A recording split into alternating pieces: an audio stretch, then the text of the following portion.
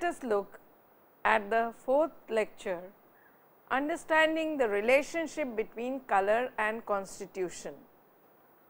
So far we have dealt with the history and then the light and its interaction with the color.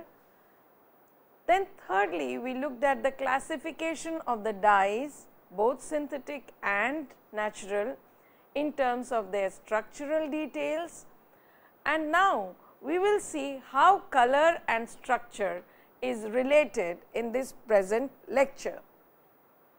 Electromagnetic radiation that is light is electromagnetic radiation that is it has both electrical and magnetic component vibrating in transverse wave packets or quanta. The vibration may occur in all planes or in one only plane polarized light, each plane having right and left circular vector components. We may measure the amplitude of the wave quantum that is the intensity of the light, its frequency and or its wavelength and then look at the color tone and its velocity in a given medium. So, all this will be now related to what color will be observed or seen. We also saw that the complementary color is generated from the transmitted light because the absorbed light is taken up by the material. Now, if we try to have a recap of color, chromophore and auxochromes, the carbonyl and the ethylene or vinyl groups have chromophoric properties only when they are present in the molecule in multiple conjugated order. So, now you understand what is a chromophore. Thus, acetone is a colorless molecule while diacetyl is yellow and benzil is deep yellow while triketopentane is yellow orange.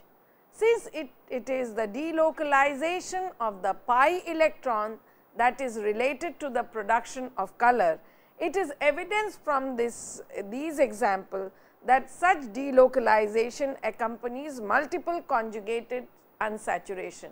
So, for a molecule to be a colored molecule, it has to have chromophore and auxochromes and the two put together if they are in a conjugated system will create color. So, that is the relationship between color, chromophore and auxochrome. Now, if we try to look at various types of chromophores, Witt observed in 1876 that colored compounds contain certain unsaturated groups which are called chromophores and the compound containing a chromophore is called chromogen. When certain groups called auxochromes are present in the chromogen, a dye is obtained. So, a combination of chromophore and auxochrome creates a dye. The various different types of chromophores are keto group, nitroso group, quinonoid group, ethylenic group, nitro group, azo group. These are some of the common chromophores that we, eh, that we see in the case of dyes. The common auxochromes that are observed may be either acidic or basic like OH or NH2. Other auxochromes include carboxylic acid that is COOH, SO3H, NH, NR2. These groups form salts or either acids and alkalis. So, with either they will uh, be uh, forming a salt with an acid or an alkali. They also form hydrogen bonds with certain groups like OH of cellulose or NH2 of the wool and silk.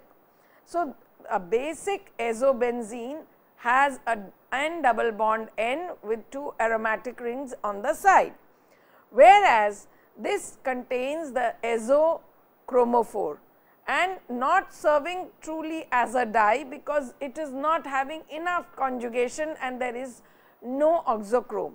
But simply by adding an NH2 which is an auxochrome, you see that the conjugation extends.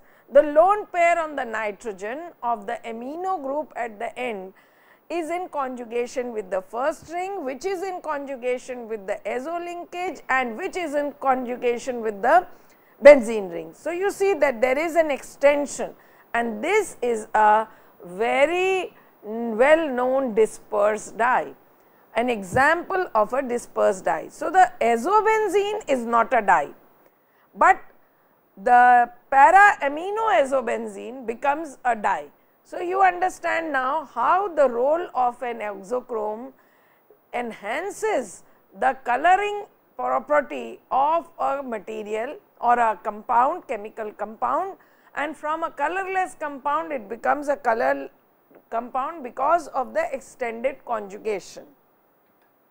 Classification which is based on their chemical nature. Now, let us try to say I told you several names, but I will still uh, repeat so that you get a good idea about the relationship between color and the structure. That time we were taking classification only in terms of the structure. This indigo dye, indigoid dye is most common group of natural dyes. The dye stuff is extracted from Indigofera tinctoria, a bush pea family member the dye was used prehistorically in India where it probably originated. The word is derived from indican. Now, you see it has a benzene ring, it has a carbonyl group, it has an NH2, NH and they are now connected with a C double bond C. So, that makes it a blue colored dye because it has all the requisites of chromophore and auxochrome. Now, let us look at the anthraquinoid dyes. We just uh, looked at the various structures of anthraquinoid examples of madder or mungist and we saw that how alizarin and uh, other dyes are all having this basic skeleton. Now, this is called an anthraquinone basic skeleton. Now, different types of auxochromes when attached at different positions on either of these rings can produce more and more color and the intensity of color goes up as much as the delocalization of the electrons happen and that is related to the various functional or auxochromes that are connected to these aromatic rings. Some of the most important red dyes are based on anthraquinone structure. They are obtained both from plants and insects. These dyes are characterized by good fastness to light. They form complexes with metal salts and the resultant metal complex dyes have good wash fastness. Now, when these uh, aromatic rings have OH, the OH at the ortho position can chelate the metal very easily. We will learn all this uh, in due course of time. Right now, it is important for you to simply understand what the basic structure is. Similarly, we have another category of structurally different dye which is called alpha naphthaquinone. Alpha naphthaquinone, the best example is the henna dye which has lawsone. Lawsone is a compound which has a very simple structure as shown on the slide. It has just one benzene ring and this uh, double carbonyl and an alpha beta unsaturated uh, say double bond uh, carbon carbon double bond having an auxochrome OH attached to it. So, you see it is from henna which is Lawsonia inermis that is the botanical name of mehendi plant and the mehendi plant consists of this lawsone dye which is orange in color and it stains the palm protein, skin protein very readily. The next category of structurally different compound is flavones. Flavone is a colorless organic compound to begin with most of the natural yellow colors are hydroxy or methoxy derivatives of flavones and isoflavones. It is obtained from as dust on the flowers and seeds of various primula species in buds of various varieties of poplar, in yellow dahlias, in weld that is Reseda luteola and dyer's broom that is Genista tinctoria. So, these are the various sources of yellow dyes, but the basic flavone ring does not is a colorless compound. So, what does it make you understand? I am trying to draw your attention to the simple fact that auxochromes are really really required to make a conjugated molecule into a colored molecule or a dye molecule. Relation between color and constitution. Now, if one has to understand this, like the physical and chemical properties of organic compounds, there is a definite relation between the color and constitution. Benzene is colorless, whereas its isomer fulvene is colored. The following theories have been proposed to explain the observed general relationships existing between color and constitution. So, there are various theories postulated from time to time in order to explain what is the relationship between the structure and the color of a compound. So, we try to learn and understand one, one theory after another theory to be able to understand how we came to the modern theory of color uh, explanation. Witt theory which is the most uh, uh, important and the earliest theory that was postulated is based on the chromophore and auxochrome theory, the one which I have been explaining for a while in this lecture. In 1876, Witt put forward a theory according to which the color of the substance is mainly due to the presence of unsaturated group known as the chromophore and uh, it comes from the Greek word chroma which means color and phore means bearings. The important chromophores are C double bond C, C double bond N, C double bond O, N double bond N and NO2, quinoid rings and so on. So, we just looked at the uh, various uh, chromophores a while ago. So, according to Witt, it is because of these chromophore groups and the association of auxochrome that makes a uh, chemical moiety a dye because of extended conjugation. So, there are three criteria that he mentioned presence of chromophores, presence of auxochromes and the third thing is that they must be in conjugation to create a greater delocalization of electrons and only when the electrons are uh, more and more delocalized a colorless compound moves towards becoming a color, colored compound. The compounds possessing chromophores are known as chromogens. The chromophoric groups are the following two types. When a single chromophore is sufficient to impart color to the compound, then these chromophores are of the category NO, NO2, N double bond N, N double bond N double bond N and so on or N double bond NO or para quinoid structures. This if they are present only in one number, even then they can create a lot of color or impart color to the compound. When more than one chromophore is required to impart color like CO, C double bond C, this can be exemplified by the example that I took a while ago. See acetone which has just C double bond C uh, sorry C double bond O is actually colorless, but when there are two such groups attached to it in biacetyl, it is yellow in color. So, you see that one is not enough to impart color, but when two such chromophores are present or if there was an alpha beta unsaturated ketone having uh, C double bond O and C C bond then it would have been pale yellow in color. So, the more conjugation it brings in, the better it is. So, among the two categories of chromophores, the nitrogen bearing or the quinonoid ones even if they are present in one number can impart enough color.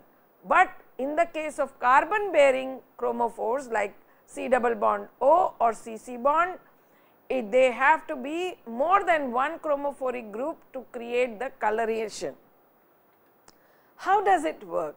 Since the auxochromes are capable of forming salts either with a basic or acidic group, their presence also convert a colored compound devoid of salt forming groups into a dye which must fix permanently to the fi fiber. It must be fast to water, light, soap and laundering when fixed to the fiber. The permanent fixing of dye to the fiber is generally due to the formation of chemical bond between the fiber and the auxochrome. This can be exemplified by the following example. Now, auxochrome that means have two roles to play. One role is that they enhance the conjugation effect and or at least they participate in the conjugation effect. And the second role that they play when they, they participate in making a, a compound into a dye is in the adheration of the dye to the fabric. So, auxochromes are very important integral part of a dye molecule. Now, when we try to look at these molecules, you see benzene is colorless, diazobenzene is also color, uh, uh, colorless, but the moment an amino group uh, or a diazonium salt is made, diazonium chloride, it makes a, a, kind of a, colored dark yellow compound and that is what makes that more and more presence of auxochrome make it a better dye material. The next theory that was proposed for explaining the relationship between color and constitution was the theory proposed by Armstrong, which is based on the quinonoid theory. Armstrong or quinonoid theory in, nine, in 1885 suggested that all coloring matters may be represented by quinonoid structure that is para or ortho and thus believed that if a particular compound can be formulated in quinonoid form, it is colored, otherwise it is colorless.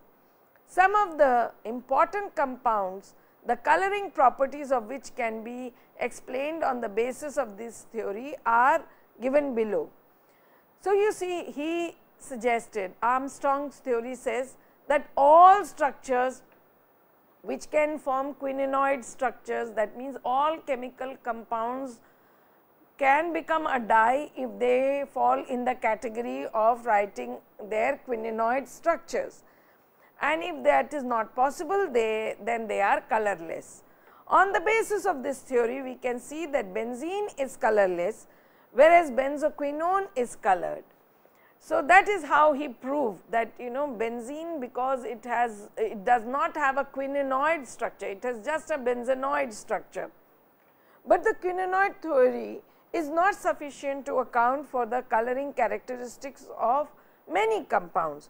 For example, the aminoquinone and the diaminoquinone both possess a quinonoid structure even then they are colorless. So, if we try to look at these four structures now, benzene is colorless, but benzoquinone that means this kind of ring with double bonds and carbonyl is a colored uh, situation. But when we look at aminoquinone that is carbonyl with NH or NH with NH diaminoquinone then these latter two are not colored. So, how does one explain the that this quinonoid structure is valid? So, there uh, it is, it is kind of failing to explain many structures which cannot be written up in their quinonoid form. So, therefore, the modern theory came into existence. And the modern theory then talks about in great detail as to how these uh, structures can be correlated to the various um, uh, explanation of the previously explained Witt's theory and the second Armstrong theory, it has to offer something better and more convincing explanation for the relationship between color and constitution and that is what actually has come into uh, being and it has been practiced. The above two theories were discussing the relationship between color and constitution and were found to be only empirical. That means, it was valid in certain cases, but not valid in many cases. The next two important theories which explain the possibly uh, the relationship, the plausible relationship between color and constitution requires somewhat theoretical background about the effect of light on the molecule. So, this modern theory is now based on a very different concept. It is not based on what is present on the structure, but it is based on how light is reacting on that structure. And therefore, it is the effect of light on the molecule which is the basis of the modern theory. To explain the difference between a chemical and a dye to explain the difference between its color and its constitution. And the two theories that were postulated were valence bond theory and molecular orbital theory. So, from time to time with advancement first came the valence bond theory and then subsequently the most acceptable molecular orbital theory came into existence. The valence bond theory. Valence bond theory, the various postulates of this theory are as follows. Chromophores are groups of atoms, the pi electrons of which may get transferred from ground state to excited state by the absorption of radiation thus producing color. So, this is what we actually were trying to refer to the fact that it has so many conjugation. Each pi bond has pi electrons and it is the delocalization of these pi electrons which are getting transferred from ground state. Once they absorb light, they are so facile that they can get excited to the excited state by the adsorption of the radiation.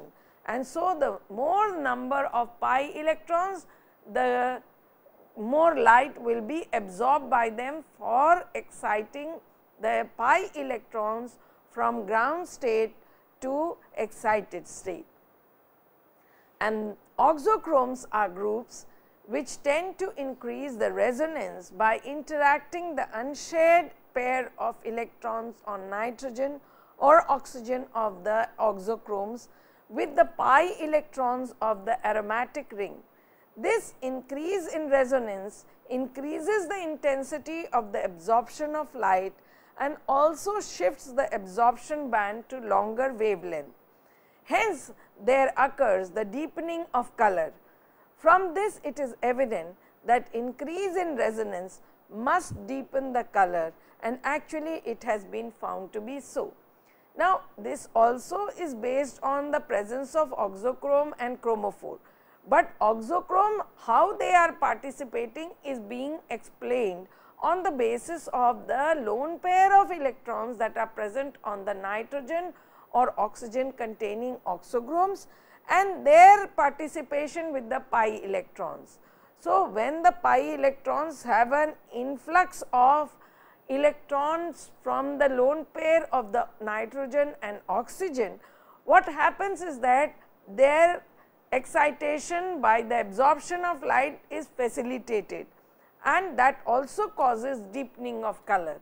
Because the more facile the excitation, the longer will be the wavelength and shorter will be the energy requirement for such transitions. Furthermore, the dipole moment changes as a result of oscillation of electron pairs. the following order has been observed for the case of excitation of different groups. If we try to look at the various roles of auxochrome, it is N double bond O which is greatest, which is less than, uh, which is greatest and less than that is C double bond S, which is greater than N double bond N, which is subsequently less than uh, C double bond O N double bond N, C double bond N and C double bond C. So, this is the order of their uh, you know dipole moments and the dipole moments then is uh, creating this excitation uh, of these different groups. Resonance theory explains the relationship of color and symmetry of the molecule or transition dipole of the molecule because as the number of charged canonical structures increases, the color of the compound deepens. The more the possibility, the longer the path for a change to oscillate in a compound, the longer wavelength of light will be absorbed and therefore, deeper would be the color of the compound. So, it all depends on how many canonical structures can be written and the canonical structures are occurring due to the resonance that is occurring between the uh, different uh, participation of the lone pair with the pi electrons. So, it is all classical organic chemistry based fundamentals which need to be revived when we are trying to look at the valence uh, bond theory of understanding the color and the constitution because everything is very systematic. If there is a nitrogen or amino group attached to aromatic ring, the lone pair on the nitrogen will participate with the pi electrons of the ring. As a result, it will have an enhancing effect. Now, if we try to look at various structures, we will also appreciate, I just took an example, I will go back to that example that benzene, diazobenzene and this amino substituted compound. You see that benzene had only the pi electrons, diazobenzene had the pi electrons of the ring and the N double bond N as chromophore, but still it was only light yellow in color. But the moment there was this amino at the substitution of one of the aromatic ring, this amino then started uh, the lone pair started uh, conjugating with this ring electrons and these electrons were participating with the azo linkage and the azo linkage was then participating with the second aromatic ring. So, you see how beautifully this conjugation system can be explained and the various resonance structures that can be written for the this purpose. Now, then came the most advanced theory of molecular orbital. The molecular orbital theory, according to this theory, the excitation of a molecule means the transference of one electron from an orbital of lower energy to that of higher energy. These electrons may be sigma, pi or n that is non-bonding electrons. The higher energy states are commonly known as anti-bonding orbitals. The anti-bonding orbitals associated with sigma and pi bonds are called sigma star and pi star orbitals respectively. However, there are no anti-bonding orbitals associated with n that is the non-bonding electrons because they do not form bonds. Chart the sim the next chart will show you essentially how the energy is uh, uh, increasing for these various types of electrons and how the anti-bonding orbitals are placed.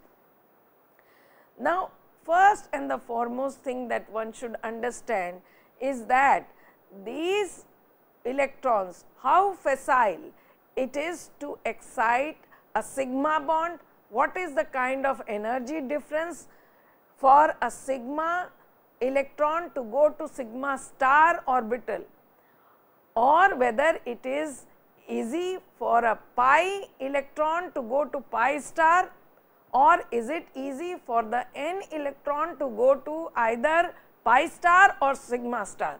So, these are various transformations that are possible when the light is absorbed. Now, light is bringing it, it is an electromagnetic radiation has a certain amount of energy associated with it. Now, when that energy is actually compatible with the energy requirement of the molecule for the excitation, only then the light will be absorbed. First thing that has to be understood very clearly, the light has to have a matching wavelength of the wavelength that would be actually required for the excitation. A wavelength of light is associated with a certain amount of energy and these amounts of energies are always quantized. So, when it comes with its energy, that energy is what actually causes the excitation of the electron. So, if we try to look at this chart, you will see that this is the order of increasing energy levels of various orbitals. You see bonding sigma is the lowest, bonding pi is above that, non-bonding or lone pair electrons are above that, pi star is further above that and sigma star is. So, if one has to promote an electron from sigma to sigma star, it would require the highest amount of energy. If one has to promote from pi to pi star, that would require certain amount of energy and the most facile would be promotion of a lone pair electron to the pi star orbital instead of sigma star. So, these are the kind of energy requirements and when the energy requirements are matching with the wavelength that is incident on the compound that the transaction of the or the movement of the electron can be facilitated. It is not that any electron can move to any situation. So, the electronic transition the electronic transition can occur by the absorption of either UV light or visible radiation, because that is what matches the range. Although transitions are possible, only the following types are allowed. Although it is possible to promote a sigma to sigma star or a pi to sigma star, but you will see that only n to sigma star and n to pi star and pi to pi star are the allowed trans transitions. A sigma to sigma stars transition takes place when a bonding electron is excited to an antibonding orbital as sigma star. This type of transition requires very large amount of energy as sigma electrons are very tightly bound. Hence, the compound like saturated hydrocarbons which do not have any pi or sigma electrons may undergo only sigma to sigma star transitions. However, these transitions do not take place by absorbing ordinary ultraviolet region and therefore, ethane absorbs at 135 uh, micromu so, you see that it has a wavelength requirement which is even below ultraviolet region and therefore, these transactions require very high energy and they are colorless compounds altogether. So, if one tries to look at these transformations, you will also understand that what is allowed is n to pi star and pi to pi star and n to pi star. Now, if you try to correlate with the auxochrome and the chromophores, you will see that pi to pi star is a typical case of using the chromophoric electrons. Chromophores are pi containing pi electron containing groups.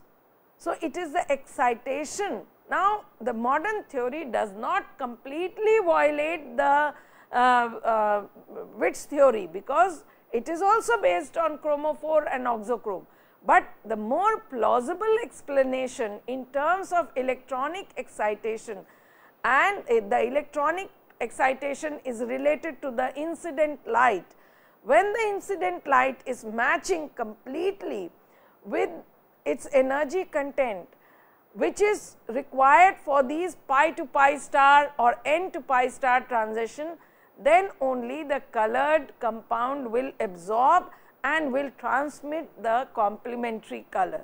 So, now by now you may have understood that the Witt's theory still holds good and can be related to the modern theory of these uh, pi to pi star and n to pi star transaction of electronic excitation.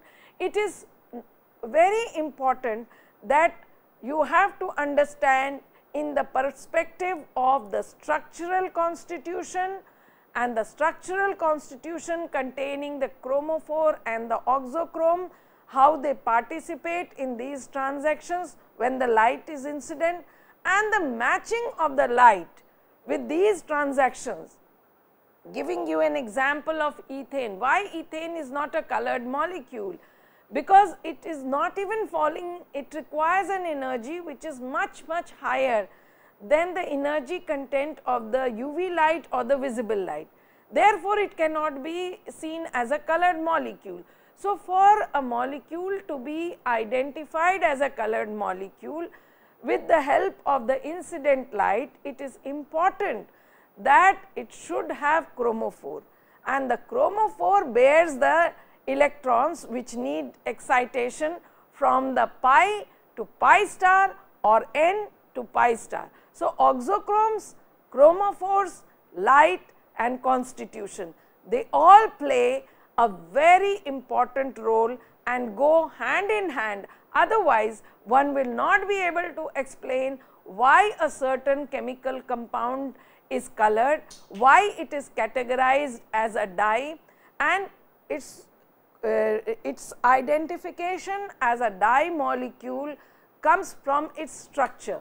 We just took an overview of various types of structures, the, uh, uh, the anthraquinoid dyes, the indigoid dyes, the dihydropyran dyes, the anthocyanidin uh, dyes.